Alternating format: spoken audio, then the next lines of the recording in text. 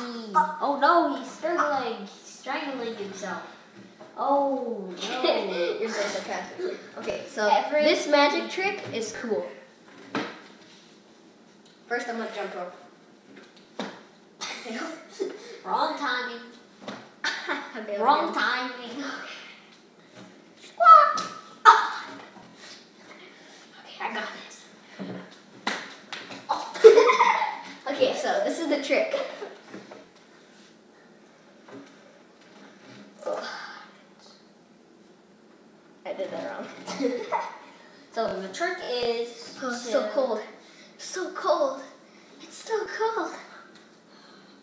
Dang it, I did it wrong again. Okay, I like this. No, I got this. I just gotta do it a little slower. What? what? Yeah.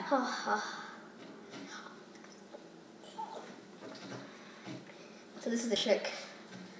Photoshop. Just kidding, no. Ronald. The, This is the trick. the trick is Photoshop. Just kidding, no. The trick isn't Photoshop. Hopefully you didn't just leave the video because we said that. Okay, so this is the actual trick. So you take a scarf, it's about your height. You make it so the left side is down to your knee, and the right side's to your waist. And and then you grab right where your chest is with your right hand. Pull a loop. See it?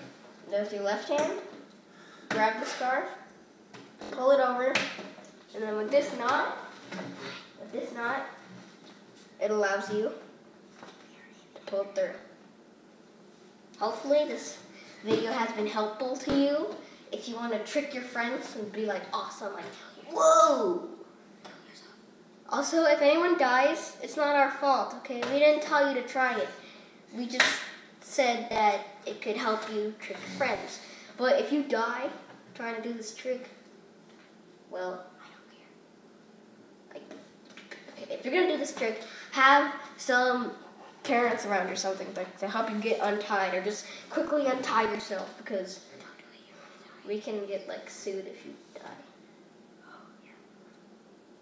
So if you're a professional, do this trick. Okay, bye.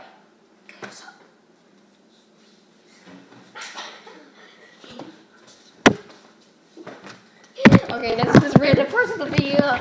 Okay, see you later. The magic trick's over.